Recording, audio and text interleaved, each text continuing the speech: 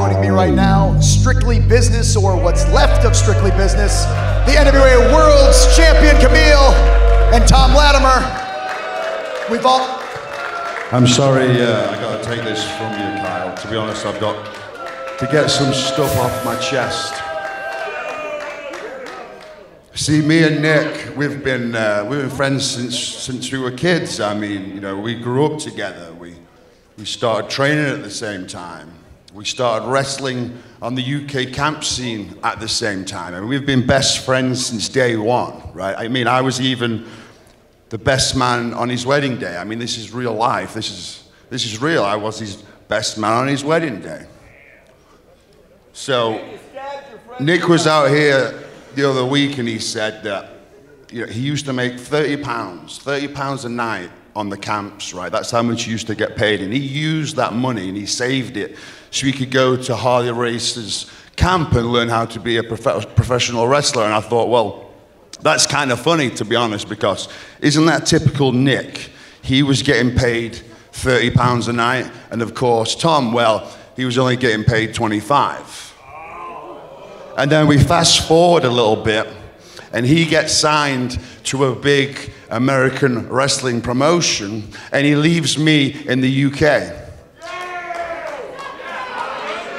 And when I do finally get to the States, of course, he's making the big bucks, and I'm making peanuts.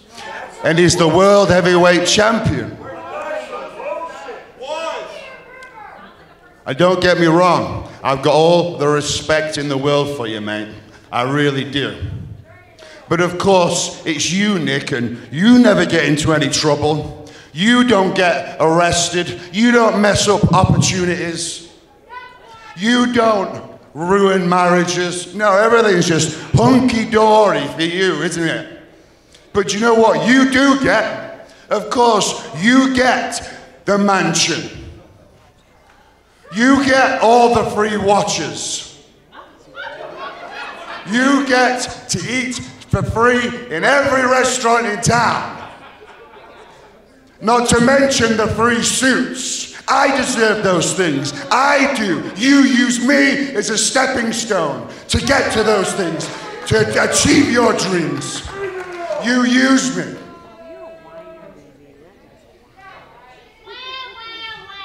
So, I need you, while you're at home, nursing your wounds, to have a good think. Why would Thom, my best friend, do this to me? Well, it was because you got weak, you got pathetic, you lost your edge besides everything else. So while you're at home, mate, I want you to take a good hard look at yourself in the mirror. Nah. No, actually, I want you to take a good, hard look into your son Donovan's eyes. And I want you to say, Son, I'm sorry daddy's a failure. I'm sorry daddy is a loser. I'm sorry, Daddy is no longer the champion, and I'm sorry that Uncle Thom kicked my ass.